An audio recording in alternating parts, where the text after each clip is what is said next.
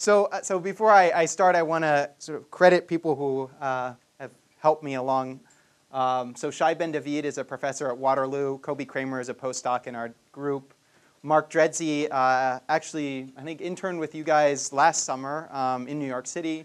Ryan McDonald is now was a fellow grad student, is now at Google in New York City as well, and Fernando is my advisor.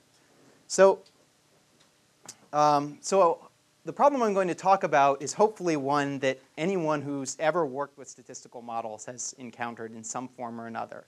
And that's that you train up a model in the lab with the data you have, you test it out, it looks pretty good, and then when you go to apply it in the real world, it's just terrible. Right? And um, so this can happen in, in vision where you have cases where um, you, know, you may have good face data for, at train time, but when you go to uh, apply a face recognizer, you might have occlusion or lighting differences that you need to deal with. Um, for gene finding now, this is becoming exceptionally important uh, because you may have uh, good, well-curated, annotated DNA sequences from one organism, but you want to train a model that works well for a, a different organism. Um, and probably, oh, sorry, probably the most uh, familiar setting to, to people here is in speech, um, in speaker adaptation, where you have uh, transcriptions from one person, but you actually want to use a speech recognizer in a case where uh, a person has a very different accent or vocal tract length. Okay, so in text, um, this problem is particularly acute because there's really a huge variation in vocabulary and style. So um, you can have you know, domains like financial news and blogs and uh, scientific text. So, I mean, one way to approach this is just to say, okay, well, we've got multiple domains. Let's just train a model in each domain, and um, we can that way handle all the data we ever encounter. Well, that works well, but if you think about it, uh, training a model usually involves some sort of annotation, and in the case of something like translation, um, this means you would have to go and get a translator to go and translate blogs for you. It's not something that's particularly cheap. And furthermore, it's unclear what exactly meant by domain. So obviously within blogs, there's a wide variety of different kinds of language that people use. I mean, even within certain types, you know, you may have blogs about cell phones versus about software. Again, you know, where do you draw the line here? Um, so let me, uh, let me sort of dive into two specific cases that I'm going to address today um, in this talk. The first is sentiment classification for product reviews. So in this setting, um, you're going to, we're going to receive a review. It's just uh, some text describing uh, how a person felt about a product he or she bought. And the idea is we're going to want to pipe this through a statistical classifier, SVM, naive Bayes, or something, and get out a rating that's either this, this is positive or negative. Okay? And so I, I just want to pause here and say I realize that there are lots of, this has actually become a pretty hot topic in the literature, and there are lots of people now working on this. I guess there are even people at Google in New York who are doing a project on sentiment now. So where's the, where's the domain adaptation happening? Um, so you, we're going to look at a setting where you have annotated product reviews from one particular type of product, let's say books, where together with each review, I have someone went through and told me this review is expressing positive sentiment or this review is expressing negative sentiment. Um, but uh, what we're going to want to do is go to a different product, let's say kitchen appliances, and apply a classifier that we learned on books. Okay? And for kitchen appliances, we're not going to have any labeled data at all. Um, okay, so let me, let me give you guys two examples from these two domains just to illustrate the kinds of problems we're going to try to overcome here. So the first is uh, from books. We pulled both of these off Amazon. So this is Running with Scissors, a memoir. This book was horrible. I read half of it, suffering from a headache the entire time, and eventually I lit it on fire. One less copy in the world, don't waste your money. I wish I had the time spent reading this book back so I could use it for better purposes. This book wasted my life. Okay.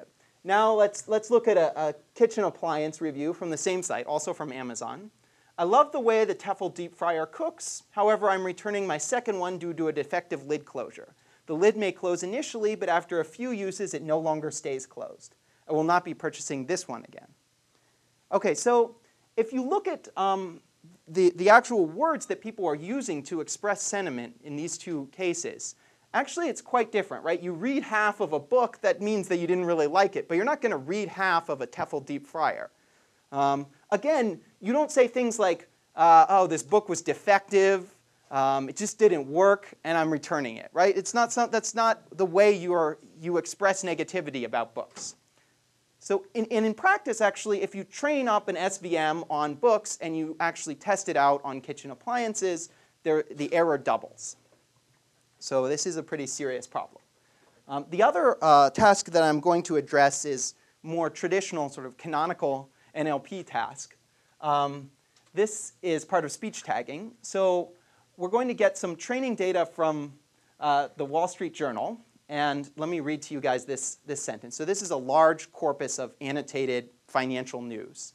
The clash is a sign of a new toughness and divisiveness in Japan's once cozy financial circles. And the task, again, here for part of speech tagging is to take each word and annotate it with its grammatical function. So to say something like once cozy is an adjective, toughness is a noun, and so on. Um, and actually, there are people at Penn now who are interested in building sort of NLP pipelines for biomedical abstracts. Right? So they're, they're in the biology department and they want to build NLP tools for, for biology text, but they don't have any labeled text. Right? So they get sentences like the oncogenic mutated forms of the RAS proteins are constitutively active and interfere with normal signal transduction. So again, the vocabulary really changes a lot here. What I've highlighted here are, are words that occur uh, five times or more frequently in one domain than in another. So in particular, you have words like oncogenic, which almost never occurs in the Wall Street Journal, no matter how much text from that particular domain I'm going to show you. And the same kinds of problem occurs, right? So if you train up a state-of-the-art part of speech tagger in the Wall Street Journal and test it out on Medline, uh, the error quadruples. Okay, so before I um, I go into uh, structural correspondence learning, which is the, the topic of, of the talk, I want to sort of get us all on the same page in terms of the supervised models that I'm going to be using. So um, these are just linear models for text, um, and I, I guess everyone here, especially at Google, will be completely familiar with them, but just to sort of get on the same page as far as notation. So the idea here is that we're going to take a document, and we're going to represent this as a vector in a high-dimensional vector space where each dimension of the vector is a particular feature, like a word or a bigram in the case of sentiment. And for a particular instance, the dimensions which have positive non-zero values are those uh, words which actually occur in the document. So here you say, oh, well, the word horrible occurred three times in this book review. I give it a 0.3. Read half occurred once. I give it a 0.1, and so on. Okay? We also have a weight vector, um, and in this weight vector, each weight sort of corresponds to the propensity of a particular word to indicate positive or negative sentiment. So you have things like horrible gets a negative 1 because it's an indicator that a document might be negative. Um, waste gets negative 1.2 and so on. And the way we're going to classify is just take the dot product of these two things, right? So this will give us a score. If we add up all the features weighted by their weights and, it's, and the score is negative, we end up saying, okay, um, this document expresses negative sentiment. If we add them up uh, and it's positive, this document expresses positive sentiment. Okay. So um, the problem I want to focus on again is, so remember we had a feature like defective, right? And we had a bunch of training data from books on which we can estimate the, the entries in this weight vector. But we've never seen the word defective, this particular feature. So what do we do? Well, the best we could possibly do uh, is give it a zero weight, right? We don't know, we've never seen it before, we don't know what it means, so we just give it a zero weight. Um, but in practice, of course, this isn't going to help us when we get to kitchen appliances.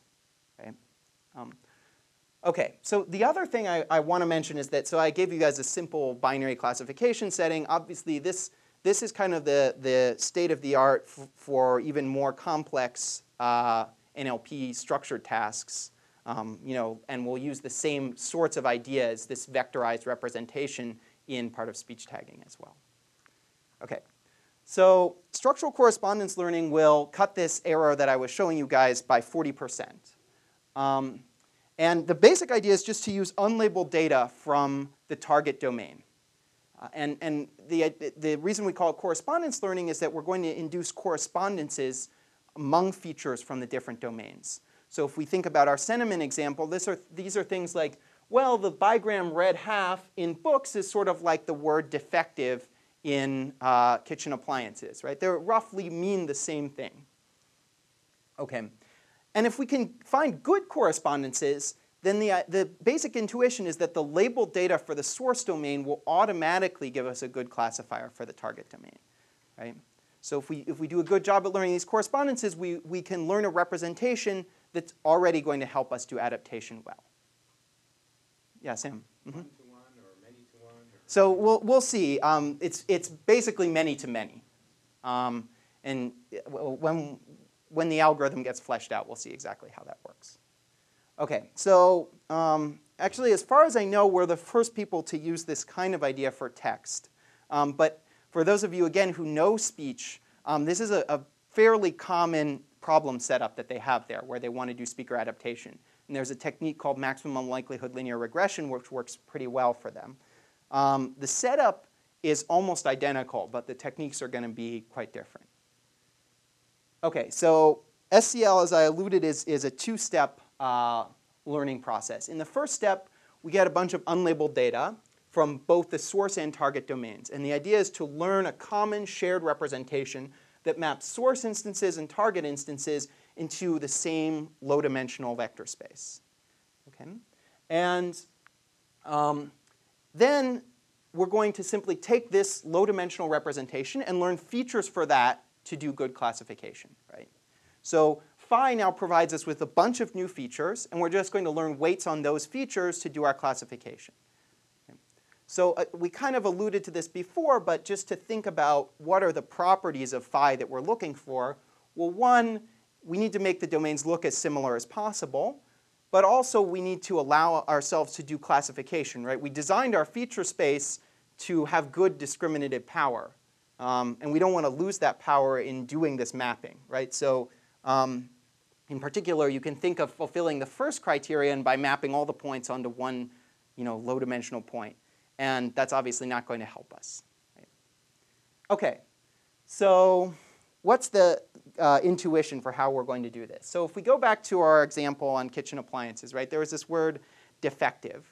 Um, and uh, we said that if we only knew uh, that this was a negative word, we could do well here. So how could we figure out that it's a negative word? Well, let's take our unlabeled kitchen context. Again, look up the word defective in a bunch of kitchen appliances reviews from Amazon and see where it occurs, right? So you get things like, do not buy the Shark portable steamer, the trigger mechanism is defective.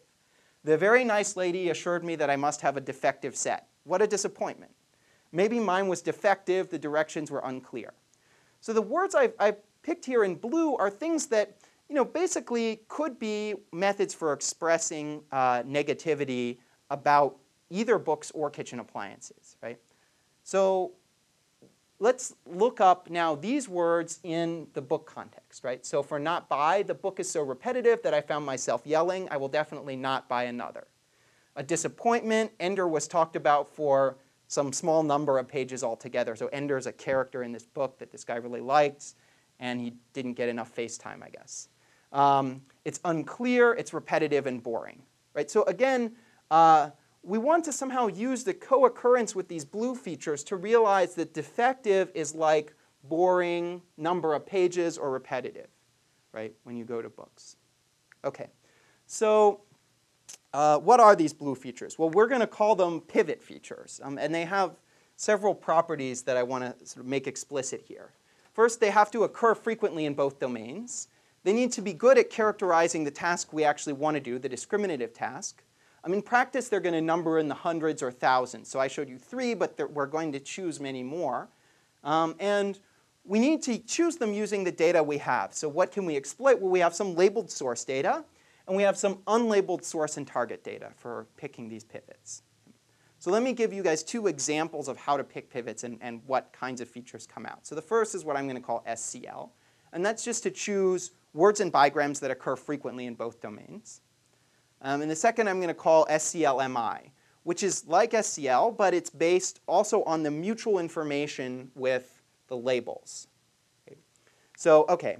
So in the first case, you get words like one, about, when, probably not such great uh, in terms of pivots. But in the second case, when you also include the mutual information from the labels you have in the source domain, um, you get ones that look much better, right? Highly recommended, awful, loved it. These pivots are things that, you know, if you could model the co-occurrence as well, you would assume that we might be able to do good classification.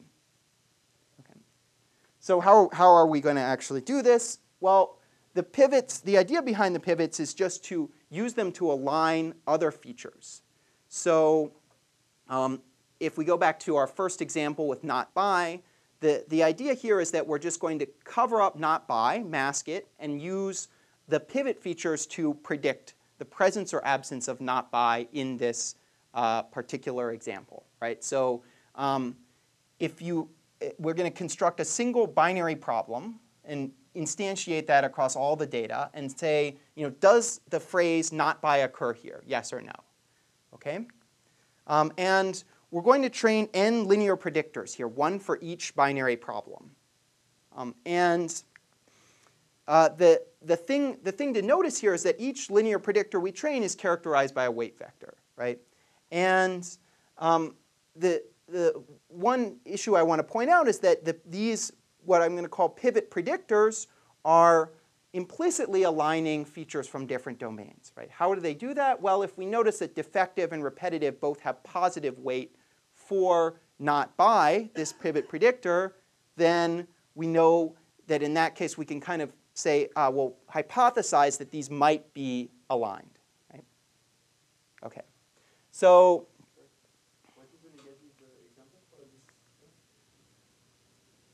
binary prediction task? What uh, what's a negative example? Um, any instance which doesn't have the phrase not buy in it. So, I mean, any, yeah. Okay, so um, we have all these weight vectors. If we construct a matrix where the columns themselves are the weight vectors from these binary prediction problems, note that actually doing the matrix vector multiplication gives n new binary features, right? Where the value of the ith feature is basically just the propensity to see not buy in the same document, right? So it gives you a document back, and I get a bunch of new features which say could not by occur in this context, yes or no, right? Each column here is the, um, each column is the weight vector for a predictor of a pivot? Right, exactly. Then, um, so, so you're saying, um, ith feature is C not buy, um, I plus one will be some other pivot, some other predictor that Right. isn't not buy, but is Um, I don't, what was the other one I listed? Uh, awful, right? awful, sure, okay. Something like this, right? Um, okay, so we're almost done, but we've, we've created these thousand um, features. Let's say n is a thousand, right? If we had a thousand pivots. Um, but that's still reasonably large, right? And uh, the reason I say this is that there's a lot of duplicate information here, right? You have predictors that are like horrible, terrible, and awful. All are good pivots, but they tend to mean the same thing, right? What we'd like is to have uh, a simple basis that kind of characterizes this space, uh, and that we can use basically as just plug into a standard linear model. Okay? Um, and we're going, to d- we're going to construct this by computing the SVD and using the top left singular vectors, which I'll call phi here. Okay? So for those of you who sort of know kind of history of dimensionality reduction in language, there are these two um, very probably most famous papers, which are latent semantic indexing and a uh, Bayesian probabilistic variant of that latent Dirichlet allocation. I want to stop here and kind of try and characterize just at a high level what the difference is. So first, um, these, these uh, dimensionality reductions are done on the feature document matrix. Um, and by, in particular, by picking pivots, we can actually characterize the kinds of representations that we learn, right? And this actually is important, right? Because here, if we get a good representation, that's great. But if we don't, then there's no real recourse to understanding how we want to design a representation to do a particular discriminative problem, right? So by actually choosing the pivots appropriately, we can direct this, this dimensionality reduction to give us good features which are useful discriminatively. Okay, so now back to the second step, which is how do we use this in a linear predictor. Um, so we have these two uh, vectors, right? I, I, showed you guys the high dimensional vector. Now we have the projection of this. Say we took the top 50 singular vectors. We have the projection onto a 50 dimensional real valued space. Um, and uh, we, uh, so we want to use this in our class in a classifier, um, standard linear model. The way we're going to do this is very simple. We just had, we had a weight vector before for x. Now we have another weight vector for phi transpose x. I mean, we just add the two uh, together? At train time, we're going to learn w and v together. Um, and at test time, the idea is to first apply phi and then apply w and v. And the hope is that, again, uh, the representation we learn here, phi, is good for domain adaptation. And In that case, we'll be able to classify instances in the new domain using v. Okay, so uh, before I go into the results, I want to stop and, and mention two sort of direct inspirations for, for my design of SCL. So the first is alternating structural optimization, um, which is a semi-supervised technique by Ando and Zhang. Um, and the, the idea there um, is again to use to use auxiliary predictors on unlabeled data to train discriminative models on unlabeled data and use that to kind of characterize a reasonable hypothesis space for doing good discriminative learning. Um, and uh, the second is uh, this, if for those of you who know dimensionality reduction, this area of, of correspondence dimensionality reduction. So the idea there is that you have uh, some high dimensional representations of a single low dimensional manifold, and you want to learn a manifold that, uh, that respects these high dimensional representations, these high dimensional correspondences. Okay. Okay, so let's go on to the experimental results. So first, um, for sentiment classification, uh, we again all our data is from Amazon. So we did we just uh, crawled the Amazon site and we pulled down a bunch of reviews. Um, these are books, DVDs, kitchen appliances, and electronics. These are our four domains. We had 2,000 labeled reviews from each and between 3 and 6,000 unlabeled. Um, and so we treat this as a binary classification problem. Each review is, has together with it a, a, set of stars. And we take things that are four or more stars, four and five stars, and call them positive, one and two stars, and call them negative. Okay. Mm-hmm. When you say unlabeled, do you mean you downloaded the stars for those three to six thousand, but you don't show them right, the algorithm? right. There's we, some reason why in the data set you don't believe those labels. No, no, no. There's no reason actually. We could use, we could in fact use them as labeled. Um, this is purely for experimental purposes. Um, so I mean, well, that's not quite true. We cur- we sort of curated and tried to throw out duplicates and do a good job um, at finding reasonable reviews for our labeled data. Uh, but uh, but basically, you know, they come from the same ultimate source. Okay, so the features, we use unigrams and bigrams, which is pretty standard for this task. The, mm-hmm. So um, the technique you're explaining, does it assume that the, uh, that the domains are given, that you're, you're going to tell it this text is in this domain, that text is in that domain? Or are you able to, um, you know, to generalize across um, uh, text where the domain itself is unlabeled? Uh, so all the experiments I'm going to show you are from the first case. Um, but uh, we can actually talk afterward about, firstly, potentially discovering multiple domains and also using the same sorts of ideas here when you have no idea where the domains are segmented. so both of those are things we've looked at, but they're not part of this talk. Okay, so for the pivots, we're going to use SCL and SCLMI, which I showed you guys uh, several slides back. And at train time, we're just going to minimize a Huberized version of the hinge loss. Um, you can use whatever your favorite loss is.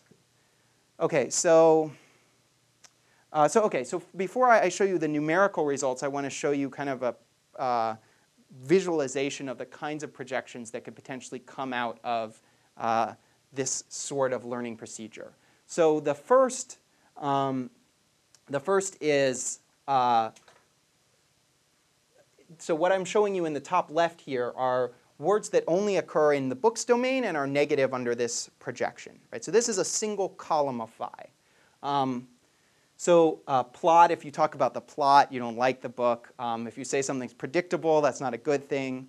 Um, for kitchen appliances, you know, the plastic, if the little plastic handle breaks, um, books typically aren't poorly designed, although they could be, but kitchen appliances, if you don't like it, you say it's poorly designed. Leaking, books don't leak. Um, positive, you have fascinating, engaging, must read. Grisham, people like John Grisham on Amazon. Um, and uh, for kitchen appliances, espresso is sort of like the John Grisham of kitchen appliances. People just like espresso.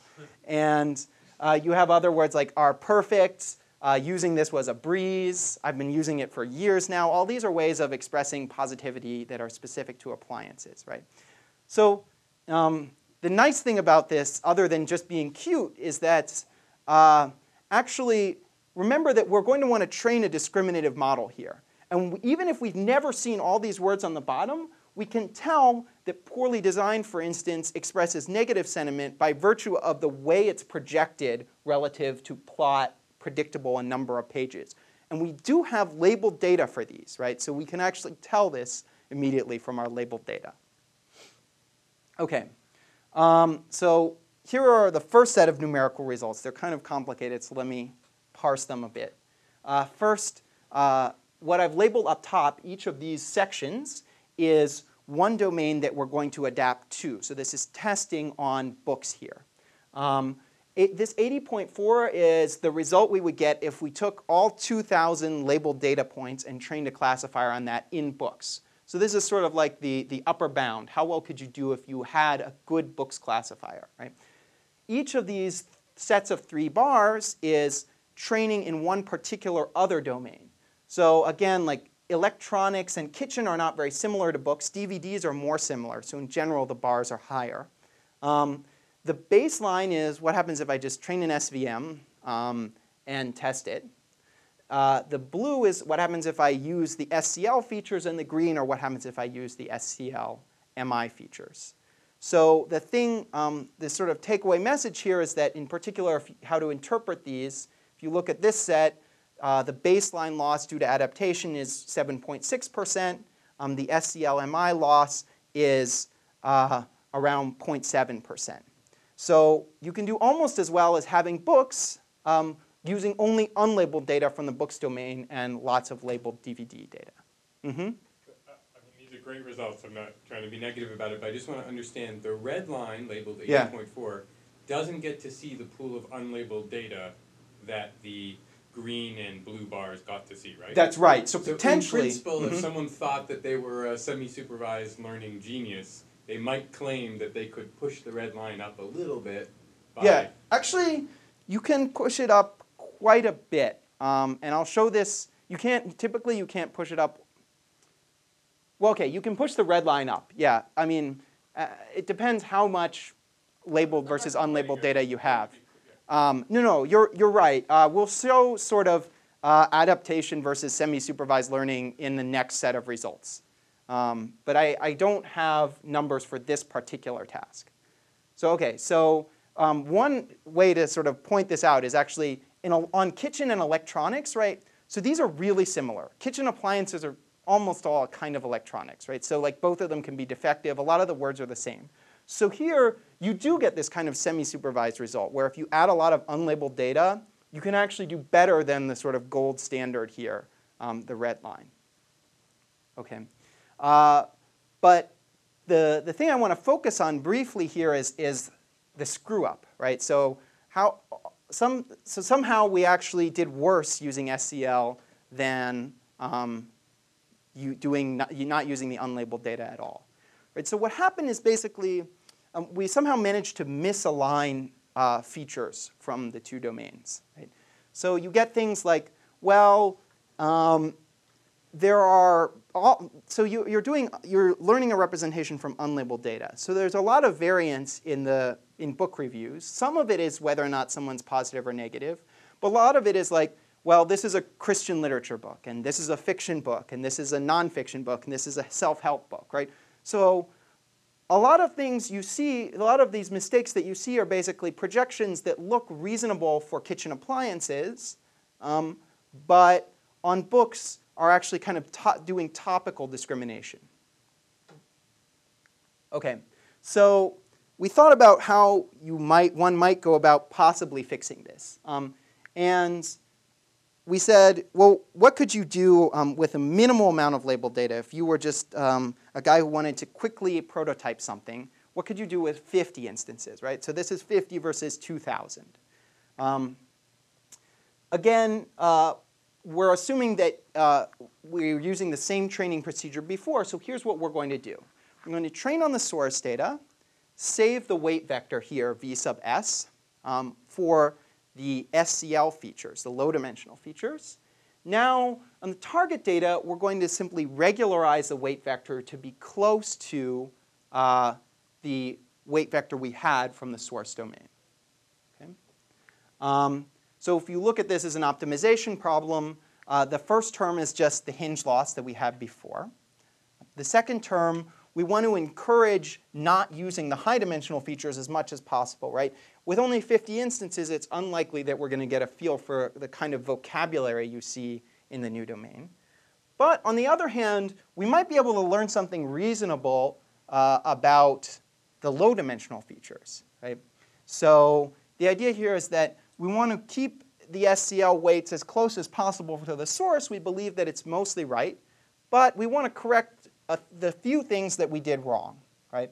And we're going to do that by trading off basically this first term from this last term. Okay. So this technique actually is based on a, an idea from uh, Chelba and Acero. Uh, Chelba is now here at Google. I guess he's in Kirkland. I don't really know. Um, but uh, uh the, they actually proposed um, regularizing on the high dimensional uh, weight vector, right? So um, the, our, the, the place we differ from them is that we're actually, um, we advocate using the low dimensional features. We think that by having this low dimensional representation, you can get a lot more power out of the small number of labeled instances you have. Okay, okay so here are the results. Um, basically, the baseline is exactly the technique of Chelba and Acero. The idea there, again, is to regularize based on the high dimensional uh, features that you had. Um, and uh, our technique is this variant where you only try to match the low dimensional features to what you learned in the source domain. And in this case, SCLMI always improves over the baseline for every uh, pair of domains that we have. Okay, um, so I, I, showed you guys a bunch of results here, um, and I want to uh, kind of help uh, distill them. Um, so first, uh, even without any unlabeled data, uh, we reduce error due to transfer by 36%. Um, and the thing I want to point out is that if you have just 50 instances and you use this other technique, um, basically it doesn't work at all. And that's because 50 instances just isn't enough to help you with such a high dimensional weight vector, hundreds of thousands or millions of features. Right? Um, but if you have a good low dimensional representation, you can um, Im further improve to a 46% relative reduction in error. Okay. So the other task that I want to talk about is part of speech tagging. Um, and so for this task, the data that we're going to look at is uh, quite a bit larger. So we have a million labeled words of Wall Street Journal text, and we're going to add two or three million words of unlabeled text from the Wall Street Journal and from Medline. Okay? And again, the task is to train a tagger in the Wall Street Journal and test it on Medline. Okay? Um, we're going to use as our supervised learner what I'll call MIRA CRF. Basically, the, the, the idea here is that you want to separate the highest scoring uh, the best label from the top highest scoring incorrect labels by a margin. Um, and there's a good JMLR paper that describes this that I highly encourage everyone to read. Um, and so the other thing that I want to specify here is what we choose for pivots, right? So I'm going to focus on sort of the word by word representation. So uh, if you look at a three word window, what we're going to use for pivots are common left, middle, and right words across domains. Okay. Also with mutual information Actually, so here there's not, we have results for that, but uh, I'm not going to show, I'm not going to show them here. Um, they do do, it does slightly better when you use mutual information. Okay, so, um, all right, so now the same, uh, the same visualization of the projection onto a single dimension from phi. Um, so uh, only in Medline uh, you get words like receptors, mutation assays, and lesions negative under this projection. Uh, only in Wall Street Journal, company, transaction, officials. Um, only in Medline that are positive, metastatic, neuronal, transient, and functional, and versus political, short-term, pretty. So what is this projection doing for us? Well, it's separating nouns on the negative side from adjectives and determiners on the positive side. So again, the, the takeaway message is that even if we haven't seen any of these words here on top, um, we can do a good job at discriminative learning by using um, all the by by using their projection onto this line and the similarity with these other words that we do have lots of labeled data for, the Wall Street Journal words. Right? Okay, so so here uh, the set of results um, comparing sort of semi-supervised uh, with SCL. So the black line here is just train a MIRA tagger on the Wall Street Journal. The blue line here is train um, the semi-supervised method of Ando and Zhang, um, this alternating structural optimization, and the red curve here is SCL. So the first thing I want to point out is that if you don't have very much labeled data at all in the Wall Street Journal, so these are learning curves for a number of Wall Street Journal sentences. So you don't have very much data at all, then you can get a nearly 20% improvement um, reduction in error for part of speech tagging. But even when you have a lot, uh, so MXPOST is another baseline that I just wanted to throw up there. This is Adwait Ratnaparkhi's part of speech tagger, and it's sort of the standard out-of-the-box tagger that one would use if you wanted to work on this problem. So um, here actually, there's uh, you can still significantly improve over all these methods. Um, and one interesting thing is for unknown words, right, where you actually don't know um, the, you've never seen this word before, and this is kind of what we've designed for, um, you can actually get a more than 20% improvement, even with a million words of labeled Wall Street Journal text. Okay. Again, so there, there are other methods for incorporating labeled data in this setting, um, and in particular, for these kind of what are called structured problems, where you have uh, a label that's, that's more complex, you can potentially use the output of a tagger trained in the source domain as a feature for the target domain. Um, so this was advocated by Florian et al. Um, NAACL a couple, I guess, three or four years ago. Um, the idea here is that uh, we want to just, so how are we going to compare SCL with a normal supervised tagger?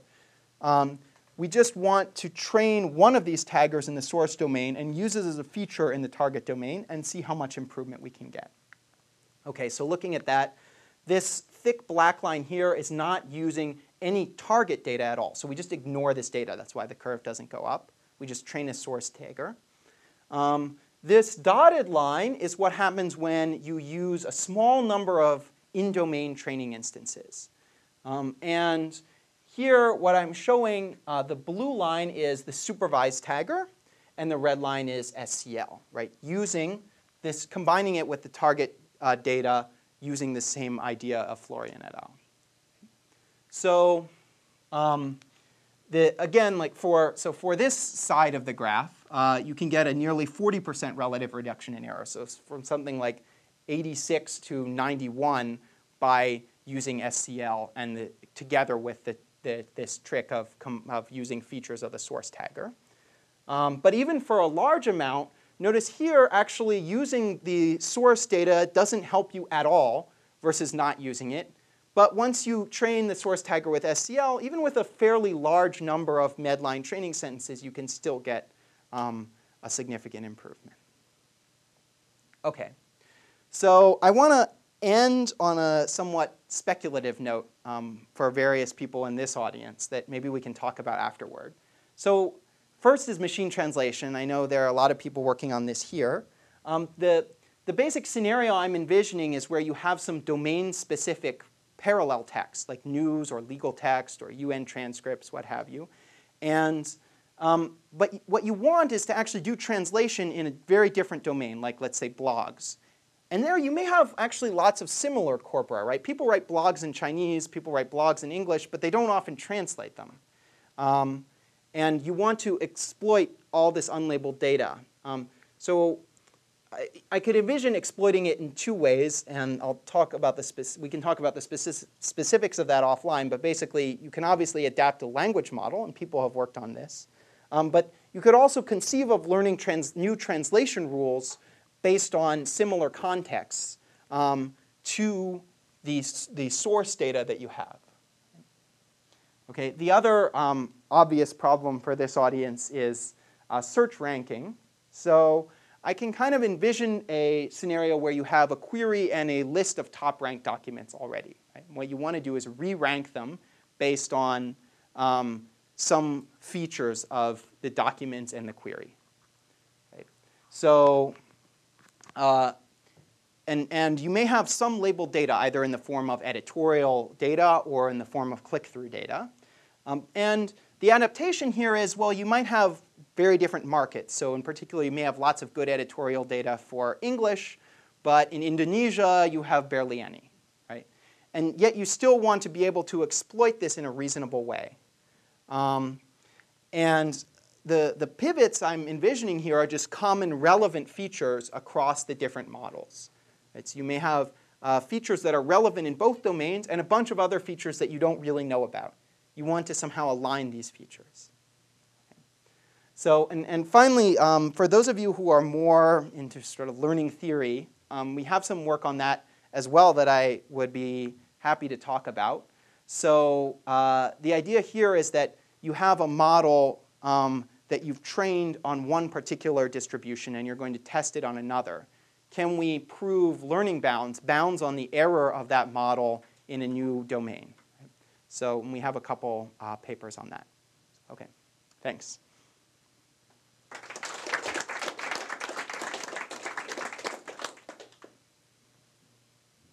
Yep. Um, I was just curious, like the, the idea of this structural corresponding learning is um, basically trying to pick up the pivot features and then cast the features that you don't see in the training data into uh, those feature space and do a uh, low dimensional reduction and then train a model on that. Right. Um, do we still like in the in the in the learning um, times you have sort of two set of parameters, one for original things, one for those uh, you know pivot related features. Do you still need the, the first parts? Yeah, so that's that's a good question. Um, actually, uh, you do need it um, in the sense that it improves results. So the reason for that is that there are some things which you know doing unsupervised learning you just aren't going to model well and you need to kind of pick up the slack there. So we have done experiments using just uh, the just the low dimensional representation. And basically, um, that kind of does in between the two. So wherever uh, the results I showed you are, if you use just the low dimensional representation, it's usually a little better than, this, than using the high dimensional, but not as good as using both. Mm-hmm. In thinking about the domain of book reviews, uh, I'm wondering about the significance of uh, two sources of uh, noise and sentiment that I can imagine. Mm -hmm. one is irony, where uh, somebody uses irony in, in a review, the, the sense of their sentiments might be flipped from, from what it appears from yes. the word analysis. Right. The other one is that books themselves are often criticisms or praising of various topics. So in discussing a book, independent of your sentiment of the book, you might be using criticism or praise words in discussing the content of it. Mm-hmm. Yes. So, um, so first, uh, these are problems for sort of sentiment analysis in general, independent of the particular method that you use. But I, I absolutely agree with you. These do come up. Um, in our experience, it's quite rare. Uh, but you have to understand that someone uh, going to Amazon and, and you know writing "I lit the book on fire" is not the New York Times review of books, right? Um, they're they're not going to express sentiment in quite the same way.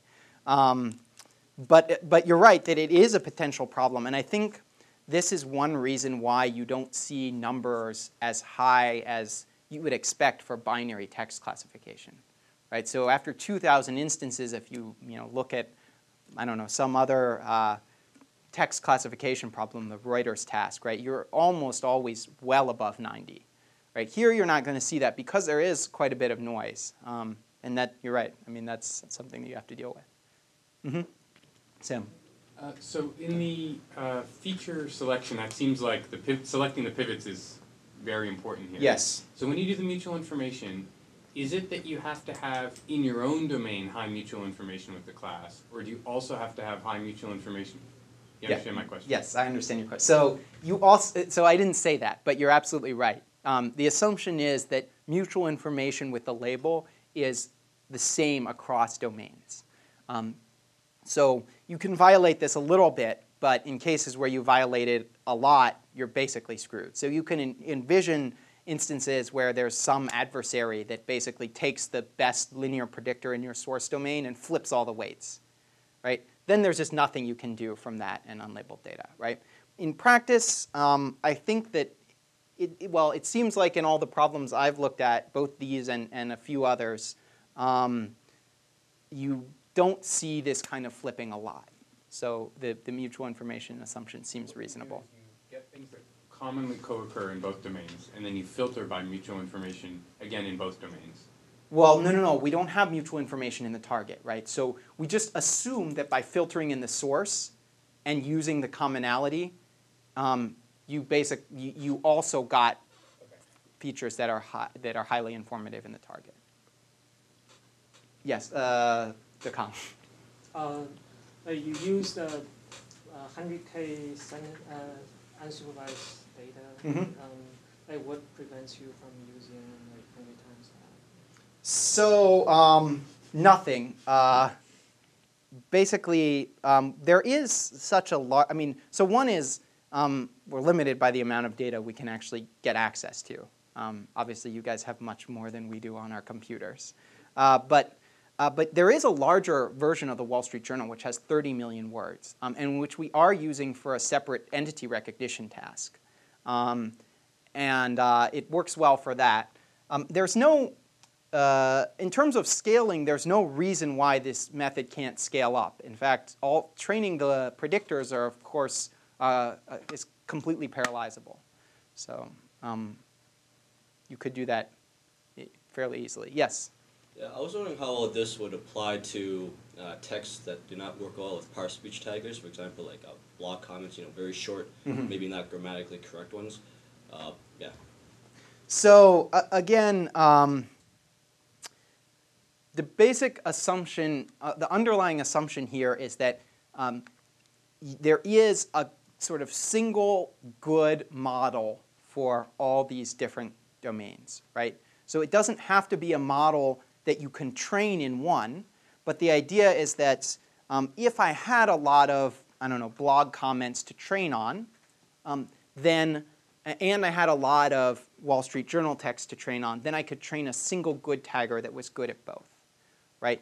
If I can't, if for some reason, you know, when I say uh, um, the word dog in a blog, it's a, an adjective or a verb, right? I mean, there's slang usages that probably would be particularly difficult to get.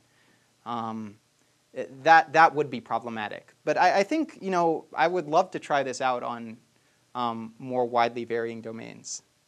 And actually, the, the Medline is pretty different. I mean, it's, there are really some things where I look at it and I'm, I look at it myself and say, I have no idea how to tag this. I, I have no idea what these people are talking about. Right? So, uh, yes. I guess both here. Well, we have different questions again.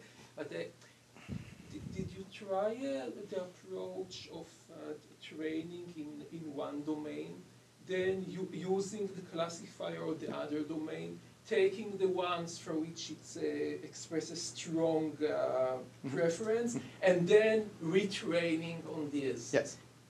So um, uh, yes, we did. Uh, this is so. This approach is often called self-training, um, and it can work very well. Sometimes it can break horribly. Sometimes. So I think this is one problem with the, these sort of bootstrapping approaches to semi-supervised learning or to using unlabeled data. It's that you can potentially introduce a lot of noise and ruin the model you had before.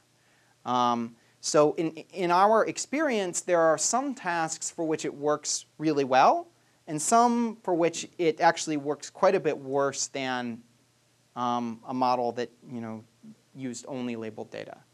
Um, there is a paper uh, at this year's ACL um, by uh, ChengXiang and one of his students um, that basically study a bunch of these other approaches. Um, and they, they look at self-training as well. So you can sort of go, for, go look at that for other references to self-training. Yeah. So one question is, can this adaptation be thought of as learning a translation like tra- table from domain one to domain two for the uh, important words? Um, I, I, I, I, mean, at a high level, it's possible. I don't, I don't want to commit to that in part because I'm not an MT guy and I don't really know, um, but in part because I think like one of the, I mean, part of the power of this method is that a lot of these features are bad, right? A lot of the projections, phi, are actually noisy, right? But by having a good discriminative model to train on, you can overcome that, right? So it's sort of like, you know, if you had a hard alignment, it's almost like ha- you know doing uh, hard clustering, right? There's you sort of you throw out a lot of information you had, and you could potentially have used that information to recover a good discriminative model, right? So I mean, I, I do think that having actually this sort of soft projection onto a low-dimensional uh, real valued space is very important. Uh, Peng. Okay, sorry. Um, I was wondering, uh, so for the selection of pivot, you have, you have you have two factors basically. You have one, is it a good predictor for the final task? Right. And you have one other which is kind of regularizer. Does it appear frequently? Which would mean that it might be also a good predictor for the second task. For the second That's right. Yes. So I was wondering if to measure the, the like is it, is a term a good predictor? You you if you have a linear classifier, you have actually the the derivative that is to say the effect of removing the word in the weight itself. Mhm. So could you use that instead Yes, of you, have, so, so there are lots of ways of doing feature selection. Um, and mutual information is by no means the best one. Um, I, don't, I don't actually want to commit to saying, you know, I love mutual information for feature selection. Um, actually, I, I, would, I would be interested in looking at, at, at either that criterion or, I mean, obviously L1 regularization is a good, a good criterion for doing feature selection. Um, any of these, I think, have the potential to be even better by accounting for um, uh, common effect, you know, dependencies among the features, right? So- No, I haven't tried that. I haven't tried that. Uh, yeah. Yeah, I have uh, actually two questions. Mhm. One is how important is the choice of pivot features? For example, do you have any thresholds or uh, parameters to control the size of features? Um, so okay, so the actual identity of the pivot features is very important. Um, the val- the number of pivot features is actually not so important. So there are basically two criteria that you need to kind of trade off. One is um, that you need enough pivot features to basically characterize the kinds of uh, space you're in in terms of training these predictors. Um, the other is that each individual predictor, you need to get good statistics for it on the unlabeled data. Right? So if a particular, if you say to go to include all the features, then you have maybe some features which only occur once or twice, even in a huge amount of unlabeled data. You can envision, I don't know, 10 grams or something, right? Um, in that case, it's hard to actually train a good predictor um, that generalizes well. And so this is why we choose sort of the, only the frequent ones. If you have many, uh, like change the direction of the SVD because you count like one, the, the error is weighted the same on, on each uh, weight. The error's weighted the same, but actually this is, this is exceptionally important because you can get a much higher margin if you have you know, fewer instances to deal with, right? So if you think about the kinds of loss, you know, I mean, higher margin basically corresponds to um, a, a smaller weight vector, right? So if you can train something, and, and the, the magnitude of the weight vector actually does appear in the SVD. Right? So the second one is uh, if you use the adapted model to Mhm. the original domain, uh, how much worse do you do, or do you do worse? You typically don't do worse. Um, and the reason for this is that, for, for a couple reasons. One is you have all the features from the original domain. Sometimes you can do better if the domains are similar enough. Um, uh, you, you have all the features from the original domain um, to sort of, if you happen to learn a representation that's not so good, you can recover that because you have the original feature space.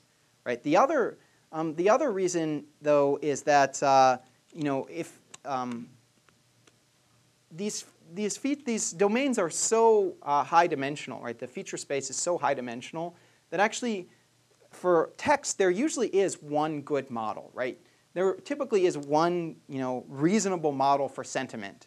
Um, of course, there are these words that, you know, irony or words that switch polarity in domains. You know, something like predictable, right, is a very good uh, is, some, is bad for books, but actually your kitchen appliances, you want them to be predictable, right? Um, so, but there aren't that many of those kinds of words. Uh, so you tip, typically you can do as well or as well as or better in the original domain. Mm-hmm. Do you have a way of detecting that kind of word and throwing it out, No. Um, I mean, there's sort of there are heuristics you can use, but none of them are really good. Um, you know, you can sort of say, oh, well, predictable in kitchen appliances co-occurs with a lot of uh, words that seem to have um, positive sentiment, but in books, negative. But there's nothing, I haven't found one good heuristic that seems to work well all the time. Mm-hmm. Um, like, do you need to apply the SVD before you try to train that combined model? Like, what if you didn't do SVD? Because you can Uh-huh. you can basically put some Ah, yeah. regularization on top of it, and uh, Yes, so you can. Um, it doesn't, so empirically it doesn't work as well. Um, and I don't have any really good theoretical justification of that yet. Um, I actually hypothesize that the reason the SVD is important is that you actually don't really care about predicting the pivots themselves, right? Um, and in fact, that can cause you to kind of overfit to the pivots. What you want really is to be able to sort of predict kind of somewhat nebulous general positive or negative sentiment, right? So there's an, there really is a low dimensional underlying representation that you want. That's why I think the SVD is important. Um, how to characterize that formally is uh, like future what's work. the sort of performance difference we're looking at, like in terms of the 46 reduction? Oh, instead of 46, I actually don't know sort of the across the board, but it tends to do about, again, about half as well. So you still get an improvement, um, but it's, you know, it's not as big. Um, you know, like it, it- it's, it's right in between the two. Um, I didn't do sort of the extensive averaging or uh, cross-validation that I did for the, these actual numbers that I'm showing here. So. Okay, thanks.